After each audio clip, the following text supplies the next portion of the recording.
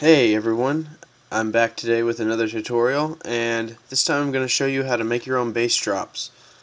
So to get started all we need is a new track and on this track you're going to want some some kind of a like a tone generator plugin. Um, you can probably download lots of uh, VSTs of these. I'm going to use one that comes with Reaper called uh, Tone Generator. And yeah, you'll get this awful sound. Let me mute that real quick.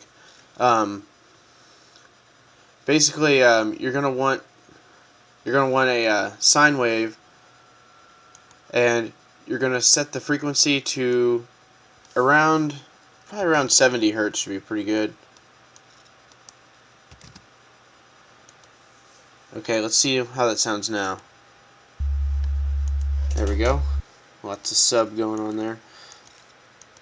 Um, now uh, the next thing you're going to want to do is you're going to want to open up your automation tab and um, I'm going to create automations for the mute and the frequency on this.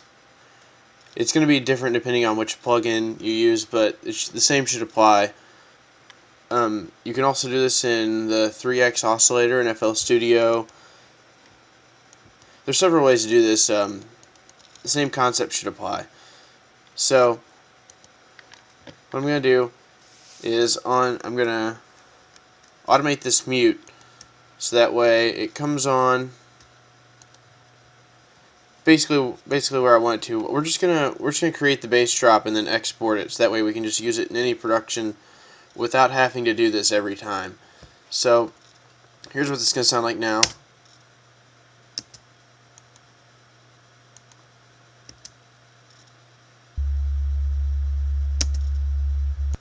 Okay. Now, I'm going to go to the to the frequency automation.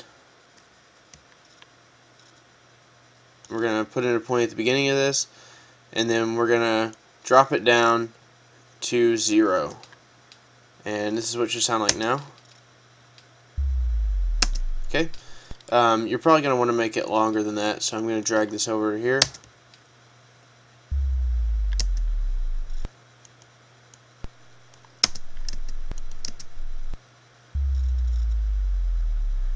There we go.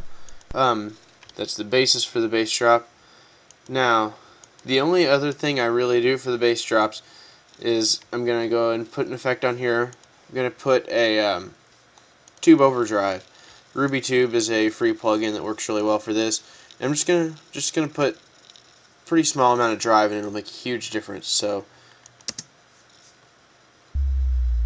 it's actually a little bit too much probably.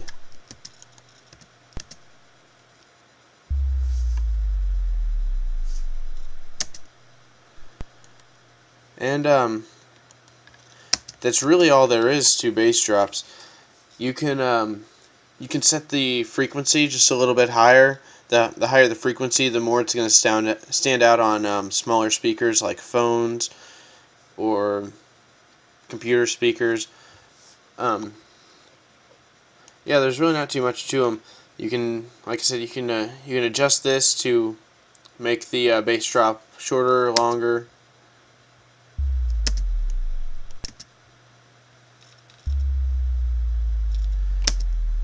what I would do is um, make just just make several of these at different lengths and maybe even uh, different frequencies and just name them accordingly. So that way you can kind of kind of just know which one which one you need whenever you want to put one in a song.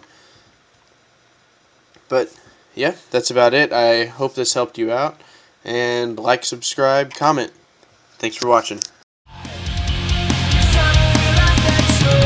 So sure, sure.